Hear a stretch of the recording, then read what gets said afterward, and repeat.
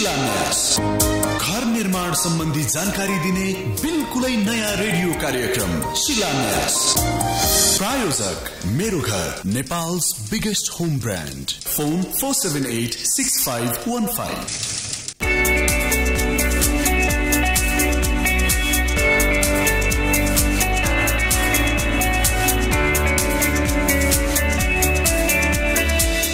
नमस्कार good evening radio Kantipur radio राष्ट्रको यहाँहरू सुन्दै हुनुहुन्छ। म राजेश पाण्डे यो शिलान्यास। हरेक बुधबार साँझ छ बजेदेखि झण्डै छ यहाँहरूले यस कार्यक्रमलाई सुन्दै आइराख्नु भएको छ। शिलान्यास brought you by Mero Ghar Nepal's biggest home brand र शिलान्यासमा हामी घर निर्माण सम्बन्धी कुराकानी गर्छौं र यसैका विषयमा जानकारी दिन्छौं। र शिलान्यासमा आज हामी एउटा महत्वपूर्ण विषयमा कुराकानी गर्दैछौं। खास गरी घर निर्माणको कुरा गर्दा घर निर्माण गर्दा वा घर बनाउँदा देखा पर्ने विभिन्न खाले समस्याहरू हुन्छन्। र हरेकपल्ट प्राय जसो सबै घर बनाउनेहरूले आज हामीले कुराकानी गर्ने समस्याहरू भोगेकै हुनुपर्छ वा नजिकबाट देखेकै हुनुपर्छ। शिलान्यास brought to you by Mero Ghar Nepal's biggest home brand यदि तपाईँ पनि घर निर्माण गर्ने सोचिराख्नु भएको छ घर बनाउने सोचिराख्नु भएको छ वा अब बनाउने तर्खरमा हुनुहुन्छ भने तपाईँको समयभित्र तपाईँको बजेटभित्र सुरक्षित र आरामदायी घर निर्माणको लागि तपाईँले मेरो घरको सहयोग लिन मिल्छ।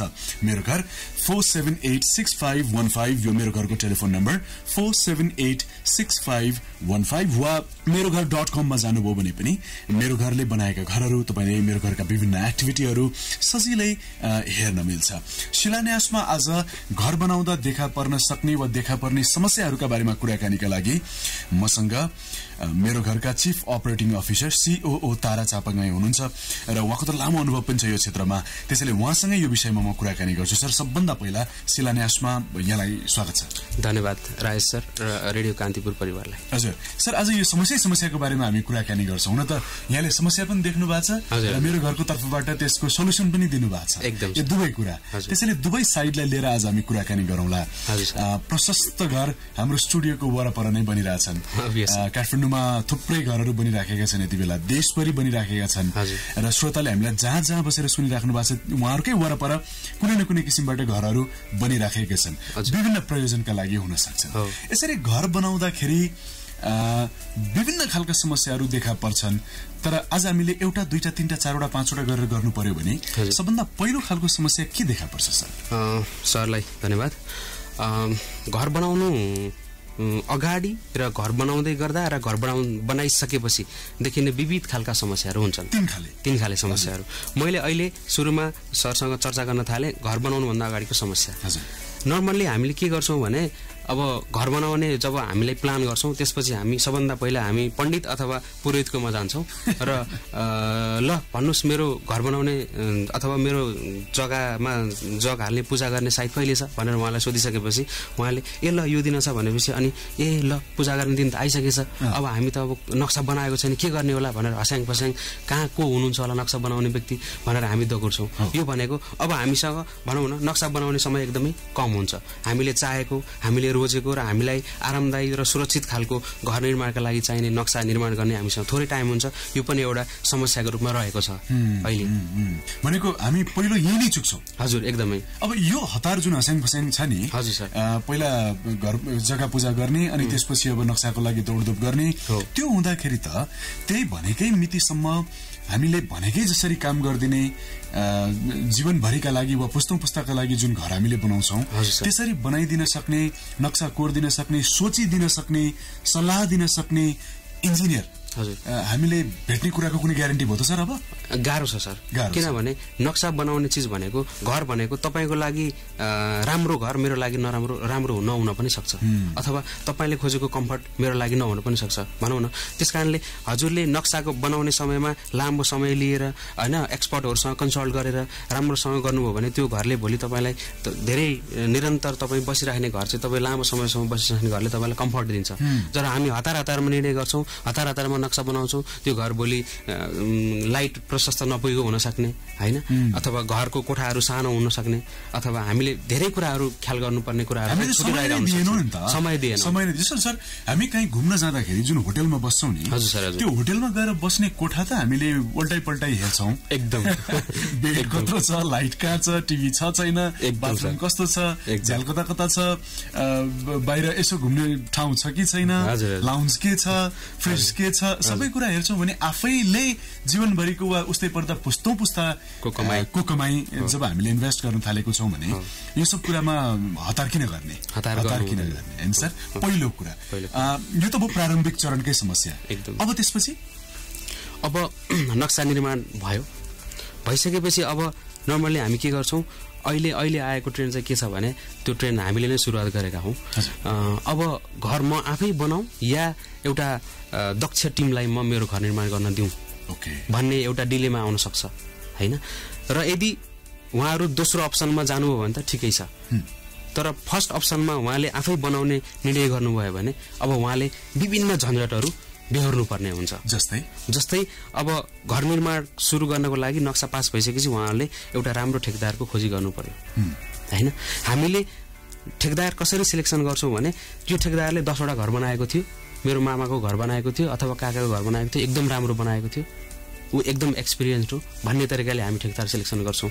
तर जसरी एउटा इन्जिनियरको सुपरभिजनमा बनेको घर हुन्छ ऊ ठेकदारको त कुनै एउटा टेक्निकल्ली कुनै एउटा उसको सर्टिफिकेट पनि हुँदैन।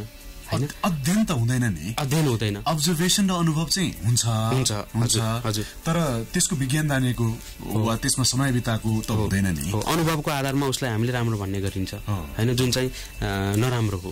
होइन? अब यही यही प्रक्रियादेखि एउटा ठेकदारको हामीले सिलेक्सन गर्ने कुरादेखि लिएर अन्य विविध कुराहरूमा हामीलाई अब समस्या आउन सक्छ।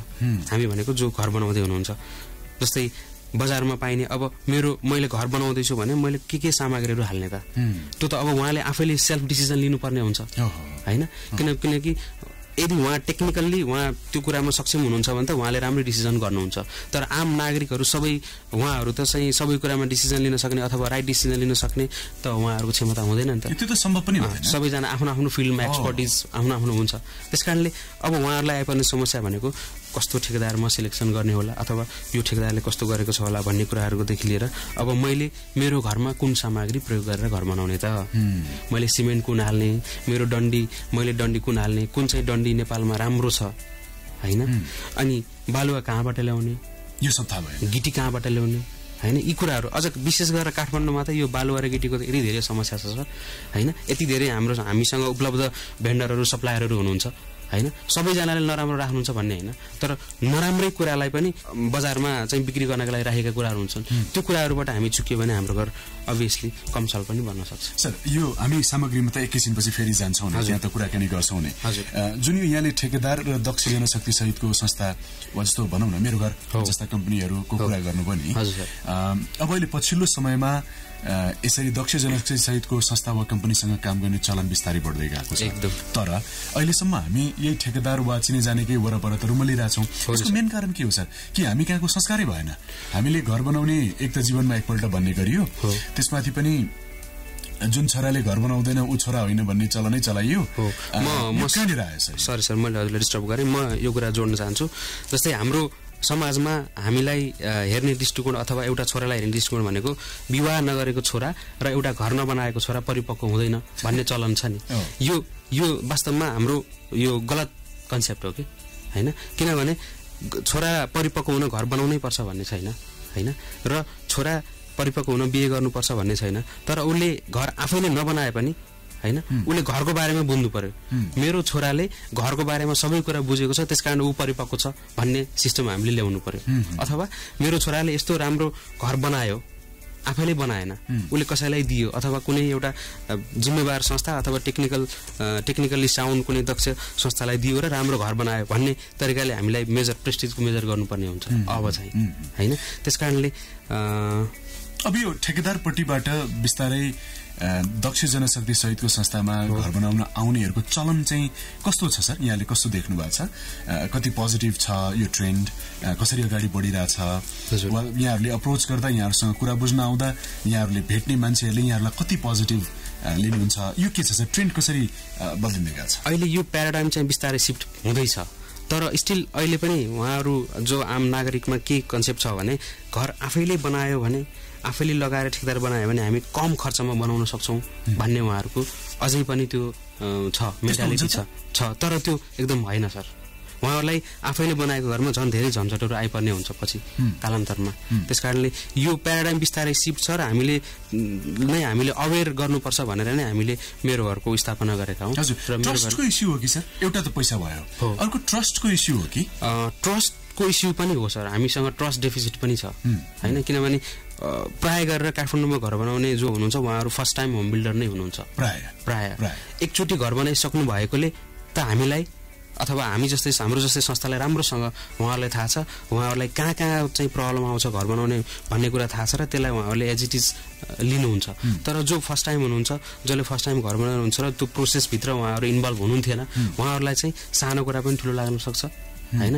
चाहिँ एकदमै टेक्निकल्ली एकदम राम्रो छ राम्रो कुरा र त्यो गर्नु हुने कुराहरू गरिरहँदा पनि उहाँहरूले चाहिँ के गर्नुहुन्छ भने होइन यो भएन उसले त यस्तो भनेको थियो त्यसले त्यस्तो भन्यो त्यो उहाँले उहाँले यस्तो भन्नुभयो भन्ने खालका कुराहरू गर्दाखेरि चाहिँ हामीलाई चाहिँ अलिकति ट्रस्टको इस्यु पनि हो कि भन्ने लागेको छ अहिले त्यसलाई चाहिँ हामीले बिस्तारै अब चिर्दैछौँ। जति घर यहाँहरूले बनाउँदै जानुभयो त्यसको आधारमा बिस्तारै चिर्ने काम त भइ नै हाल्छ हजुर आज शिलान्यासमा हामी घर बनाउँदा देखा पर्ने समस्याहरूका बारेमा कुराकानी गर्दैछौँ र मसँग आज स्टुडियोमा मेरो घरका सिओओ तारा चापागाई सर हुनुहुन्छ र उहाँले आफ्नो अनुभव आफ्नो अध्ययनको आधारमा हामीलाई सबै कुराहरू बताइराख्नु भएको छ। र तपाईँ पनि घर बनाउँदै हुनुहुन्छ घर बनाउने सोचमा हुनुहुन्छ आफ्नो बजेटभित्र आफ्नो समय सीमाभित्र सुरक्षित र आरामदायी घर बनाउनका लागि मेरो घरलाई सम्झन मिल्छ। Mero Ghar Nepal's biggest home brand four seven eight six five one five मेरो घरको telephone number four seven eight six वा मेरो घर डट कममा जानुभयो भने पनि यहाँले मेरो घरले बनाएका घरहरू सजिलै देख्न मिल्छ र मेरो घरको एक्टिभिटी पनि हेर्न मिल्छ। शिलान्यासमा एउटा ब्रेक लिउँ। र ब्रेकपछि हामी आउँदा थप समस्याहरूमा कुराकानी गर्छौँ। घर बनाउँदाखेरि देखा पर्ने समस्याहरूमा रेडियो कान्तिपुर झन्डै छत्तिससम्म शिलान्यास सुन्दै गर्नुहोला। शिलान्यास। घर निर्माण सम्बन्धी जानकारी दिने बिल्कुलै नयाँ रेडियो कार्यक्रम शिलान्यास। प्रायोजक Mero Ghar Nepal's biggest home brand phone four seven eight six five one five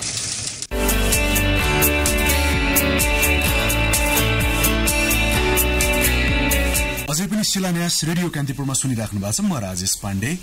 शिलान्यास brought you by Mero Ghar Nepal's biggest home brand हरेक बुधबार साँझ छ बजेदेखि झण्डै छ तिससम्म यहाँहरूले यस कार्यक्रमलाई सुन्दै आइराख्नु भएको छ। र शिलान्यासमा हामी घर निर्माणसँग सम्बन्धित विभिन्न जानकारी यहाँहरूलाई दिन्छौँ। र आज चाहिँ शिलान्यासमा हामीले घर बनाउँदा देखा पर्ने समस्याहरूका बारेमा कुराकानी गरिराखेका छौँ। र विभिन्न खाले समस्यामा त हामीले कुराकानी गर्यौँ जसको लागि मसँग स्टुडियोमा मेरो घरका chief operating officer Tara Chapagai हुनुहुन्छ र उहाँसँगै विभिन्न घर बनाउँदा देखिने समस्याहरूमा हामी कुराकानी गरिराखेका छौँ र घर बनाउनुभन्दा अगाडि देखिने समस्या घर बनाउँदा बनाउँदै देखिने समस्याहरूमा हामीले कुराकानी गर्यौँ र एकैछिनपछि चाहिँ हामी घर बनाइसकेपछि देखिने समस्याहरूमा पनि कुराकानी गर्छौँ यदि घर बनाउनलाई म मेरो घरकोमा आएँ र मेरो घरमा आएर मैले मेरो आवश्यकता बताएँ मेरो जग्गा यत्रो छ। यति तलाको मेरो घर हो। वा बजेट यो छ यसरी यसरी गर्ने भनेर मैले बताएँ भने। अब अब यही ठाउँमा मलाई सजिलो के केमा पर्छ त? ठिक छ। तपाईँले अब म तपाईँ हाम हामीसँग अथवा मेरो घरसँग घर बनाउन आउनुभयो भने हामीले पहिले नै सबै कुराहरू क्यालकुलेसन गरेका हुन्छौँ। भनेको? भनेको तपाईँलाई कति क्वान्टिटीको सिमेन्ट लाग्छ कति क्वान्टिटी बालुवा लाग्छ कति क्वान्टिटी गिटी लाग्छ डन्डी कति टन लाग्छ यावत कुराहरू टायल कति कति लाग्छ भन्ने कुराहरू सबै कुराहरू इस्टिमेट भएको हुन्छ। भनेको घर बन्नुभन्दा अगाडि नै मलाई सबै हिसाब किताब आइसक्छ? सबै हिसाब किताब आउँछ सरलाई। एक्ज्याक्टली हिसाब किताब आउँछ। त्यसले गर्दा तपाईँलाई झन् एउटा कुरा त त्यो सामानहरू तपाईँलाई कहिले चाहिन्छ भन्ने कुरा पनि तपाईँलाई थाहा हुन्छ। कुन कुन अवध अवधिमा घर बनाउँदै गर्दाको अवधिमा चाहिन्छ भन्ने पनि थाहा हुन्छ। र कति पैसा मैले त्यो सामान किन्नको लागि इन्भेस्ट गर्नुपर्छ त भन्ने पनि थाहा हुन्छ। र कुन सामान युज गर्नुपर्छ भन्ने कुरा पनि हामी चाहिँ बताउँछौँ। त्यस कारणले सामानको खरिददेखि लिएर सामानको उचित भण्डारणदेखि लिएर सामानको उचित प्रयोगमा पनि हामीले सहयोग गर्छौँ। त्यसो भए त न त सामान कम हुने भयो। न त सामान बढी हुने भयो। एकदम भनेको ठ्याक्क छुट्याएको समयमा छुट्याएको पैसामा। भनेको जस्तो घर ट्याक्क। अ, तयार हुने भयो। ओके। यो मेजर प्रब्लमको रूपमा आउँछ सर। एकदम। अर्को दक्ष कामदार पनि अर्को समस्या हो सर। हो नि सर। धेरै नै। कन्स्ट्रक्सनमा नेपालमा लगभग अस्सी प्रतिशतभन्दा बढी काम चाहिँ हामीले म्यानुअली गर्छौँ। म्यानुअली गर्छौँ। है। धेरै टेक्नोलोजीको प्रयोग भएको हुँदैन हाम्रो जस्तो देशमा। त्यसले गर्दा यदि जस्तै मानौ टाइलकै काम गर्ने मान्छे अथवा पेन्टकै काम गर्ने मान्छे ऊ राम्रो छ ऊ चाहिँ वेल इक्विप छ अथवा वेल स्किल्ड छ भने त उसले राम्रै गर्ला। तर सबै मान्छेहरूको त्यो जमात चाहिँ काठमाडौँमा हामी देख्दैनौँ होइन? तपाईँ के गर्ने भन्दा तपाईँको अरू केही काम भएन तपाईँ प्लम्बर बन्ने हो होइन? पाइप जोडिदिने त हो प्लम्बर भने के काम हो र? दुइटा पाइपलाई एङ्गल राखेर जोडिदिने त हो। तर he is not a real plumber उसले त टेक्निकल नलेजहरू गेन गरेको हुनु पर्यो। कुनै संस्थाबाट उसले चाहिँ प्रयोगत्मक सिपहरू सिकेको हुनु पर्यो। त्यस्तो देखिँदैन। देखिँदैन होइन? यहाँ त के भने काम नपाएर इन्डियाबाट।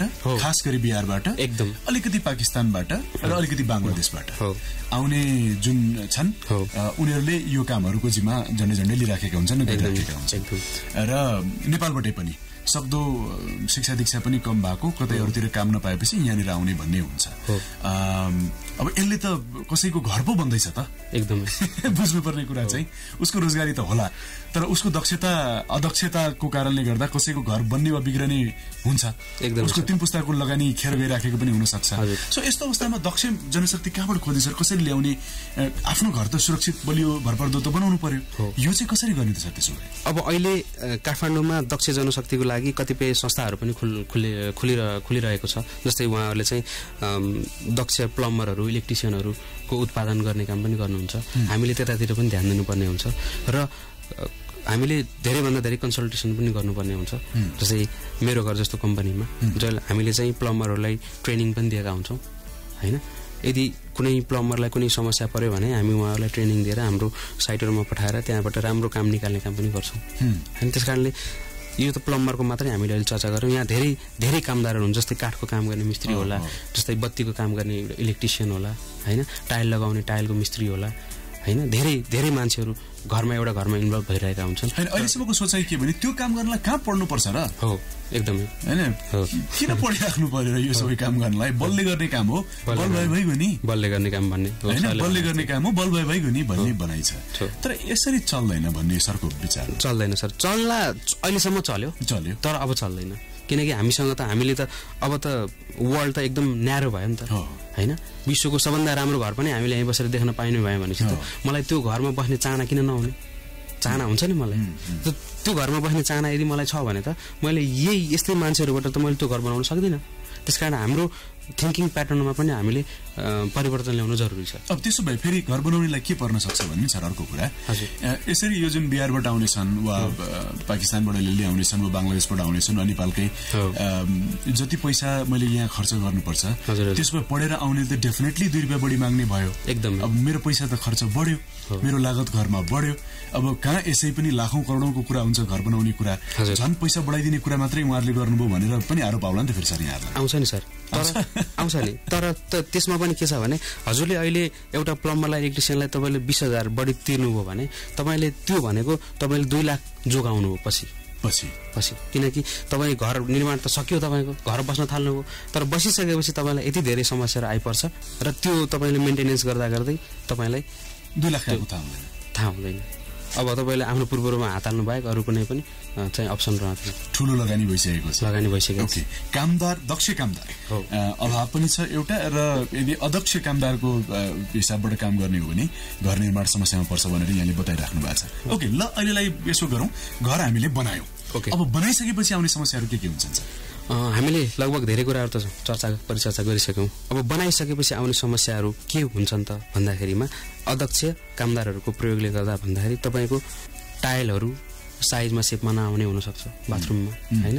भोलि बाथरुमबाट पानी सिपेजहरू हुने अथवा स्ल्याबबाटै सिपेज पनि भएको हुन सक्ने सम्भावना हुन्छ होइन? र घरको कोठाहरू अँध्यारो हुने। अँध्यारो हुने? अँध्यारो हुने। अँध्यारो हुने धेरै कारण छ सर।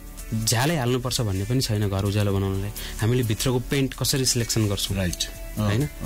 प्रोपर पेन्टको सिलेक्सन भयो भने उज्यालो चमक आउँछ होइन? त्यस्तै घर सरिसक्यौँ दुई महिनामा बत्ती बल्दैन फ्युज गइरहन्छ लोड क्यालकुलेसन पुगेन होला होइन? यी यावत धेरै समस्याहरू छन् सर। होइन? घर घर चर्किने प्लास्टर चर्किने देखि लिएर धेरै समस्याहरू हामीले भोग्नुपर्ने हुन्छ। घर क्र्याकहरू हुने पिलरहरूमा समस्या आउने यस्तो पनि देखिन्छ सर पछि गएर? देखिन्छ नि। त्यो देखिन्छ? देखिन्छ। वर्कम्यानसिपको प्रब्लमले गर्दा त्यो देखिन्छ। ए। है? भनेको घर बनाए अब ढुक्क भए भन्ने पनि भएन। भएन। यदि कामदारहरू दक्ष छैनन् भने। विभिन्न खाले अरू समस्या पनि आउने भयो। एकदम। ओके। यी यी विभिन्न जति पनि समस्याका बारेमा हामीले कुरा गर्यौँ नि सर आज यो सबै खाले समस्याबाट बच्नको लागि यदि म मेरो घरमा आएँ भने म बच्छु म मेरो जीवनभरिको लागि म ढुक्क हुन सक्छु सर मेरो घरमा? एकदम ढुक्क हुनुहुन्छ सर। किनकि हामीले यो सबै यो सबै समस्याहरू हामीलाई अन्दाज छ। यो हुन सक्छ भन्ने हामीले पहिले नै थाहा छ। त्यसकारण हामीले यसलाई निराकरण गर्नको लागि घर बनाउनुभन्दा अगाडि नै हामीले स्टेप्सहरू चालिसकेका हुन्छौँ। जसले गर्दा तपाईँले भोलि घरमा बसिसकेपछि ह्यान्डओभर भइसकेपछि तपाईँ बसिसकेपछि तपाईँलाई यी खालका समस्याहरू कहिले पनि आइपर्दैन। सर मैले सोचेको भन्दा बढी पैसा वा मैले सोचेको भन्दा बढी समय लाग्ने त होइन यहाँहरूको हिसाब किताबले। होइन सर। त्यस्तो। हुँदैन? होइन। राम्रो कुराको लागि अलिकति बढी पैसा त पर्छ नै। होइन सर? तपाईँले अब अघि हामीले कुरा गरे जस्तै तपाईँले घर बनाइसकेर घर सरिसकेपछि तपाईँ दुई महिनामा दुई लाख खर्च गर्नुहुन्छ होइन? तर त्यो दुई लाख चाहिँ अगाडि तपाईँले कुनै संस्थालाई दिनुहुन्छ भने एक लाख बढी तिर्नु होला।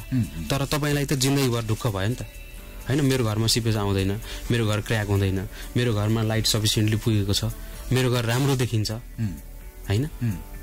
जे कुराको लागि मैले मेरो घर बनाएको त्यो सबै कुरा पाउँछु पाउँछु। भन्ने कुरामा म ढुक्क हुन अर्थात् तपाईँको इन्भेस्टमेन्ट खेर गएन। खेर गएन। होइन? र भोलि तपाईँलाई त्यो घरमा बस्दाखेरिको त्यो आनन्दले चाहिँ तपाईँको इन्भेस्टमेन्टलाई सायद जित्छ। राम्रोसँग भन्नुभयो सर अन्तिम लाइन चाहिँ। आज शिलान्यासमा हामीले घर बनाउँदा देखा पर्ने समस्याका बारेमा कुराकानी गर्यौं हुन त समस्या अरू पनि होलान् तर मूल रूपमा घर बनाउनुभन्दा अगाडि घर बनाउँदा बनाउँदै र घर बनाइसकेपछि देखिने केही हामीले एभ्री डे फेस गर्नुपर्ने खालका समस्याहरूका बारेमा हामीले कुराकानी गर्यौं आज हामीसँग स्टुडियोमा मेरो घरका चिफ अपरेटिङ अफिसर तारा चापा गाई रहनुभयो। उहाँसँग कुराकानी गर्यौं सर जाँदा जाँदै केही छ? अब कार्यक्रमको समय लगभग लगभग सकिन थालिसक्यो। जाँदा जाँदै केही छ सर कताबाट धन्यवाद सर। राजेश सरले यति धेरै कुराहरू राख्ने मौका दिनुभयो। अन्तिममा म के भन्न चाहन्छु जो अब घर बनाउने चाहिँ प्लान गर्दै हुनुहुन्छ योजना गर्दै हुनुहुन्छ उहाँहरूलाई चाहिँ तपाईँहरूले जहाँ जसरी जे घर बनाउ बनाए तापनि तपाईँहरूले विशेष गरेर घरको सेफ्टीमा ध्यान दिनुपर्ने हुन्छ होइन? घरको नक्सा निर्माणमा ध्यान दिनुपर्ने हुन्छ। सामग्रीहरूको बारेमा तपाईँले पहिल्यै रिसर्च गरिसकेको हुनुपर्ने। पर्छ र दक्ष कामदारहरूलाई प्रयोग घरमा काम लगाउनु पर्ने हुन्छ। यसको साथसाथै सबै कुरा मेरो घर बनाउँदा म कति खर्च लाग्छ कति समय लाग्छ भन्ने कुरा सबै कुरा इस्टिमेट हामी गर्न सक्छौँ। र यी यस्तै कुराहरू गर्नको लागि मेरो घरले अहिले अब चाहिँ एकदम छिटै एउटा home as a product launch गर्दैछ रेडिमेड होम हामी नेपालको मुख्य सहरहरूमा readymade home home as a product हामी लन्च गर्दैछौँ यसमा। चाहिँ एउटा स्ट्यान्डर्ड घर हो।